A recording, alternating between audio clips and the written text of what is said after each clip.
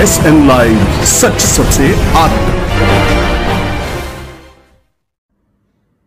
Railway भर्ती board की, के परीक्षार्थी बहनों और भाइयों, आज नई दिल्ली में भारत के रेल मंत्री श्री अश्विनी वैष्णव जी से मेरी लंबी बातचीत हुई है और उन्होंने आश्वस्त किया है कि एनटीपीसी के परीक्षा के अंदर एक छात्र, एक रिज़ल्ट की जो मांग है, उस पर उन्होंने सहमति प्रकट की है। और कहा कि साढ़े तीन लाख और छात्रों का रिज़ल्ट प्रकाशित किया जाएगा।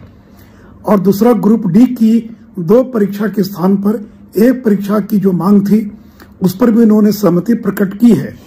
तो इसे मैं छात्रों से अपील करूँगा कि जो दो मुख्य मांगे थी, ग्रुप डी की एक परीक्षा और एनटीपीसी की परीक्षा में एक छात्र, एक रिज़ल्ट, उन दोनों पर उन्होंने सहमति प्रकट की है। और जो समिति बन रही है, उसकी रिपोर्ट आने के बाद इन दोनों मांगों को क्रियान्वित किया जाएगा।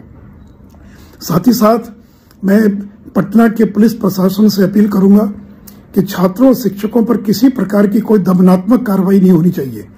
अगर रेलवे बोर्ड ने समय रहते स्पष्टीकरण दे दिया होता तो शायद ये दुर्भाग्यपूर्ण स्थिति पैदा नहीं हुई होती। और ये कोई अपराधी नहीं है।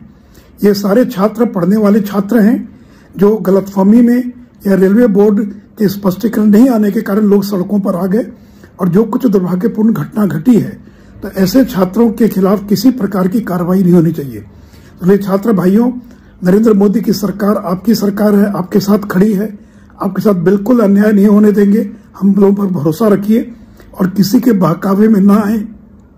जो लोग बंद का, बाकी का आह्वान कर रहे हैं, उनको विफल कर दीजिए और हम लोग पर भरोसा रखिए। आपकी मांगों को मनवाएँगे और वैष्णव जी ने अपनी दोनों मांगों पर अपनी सहमति प्रकट की है, जो समय रहते क्रियान्वित होगी। तो धन्यवाद मित्रों बहनों और भाइयों।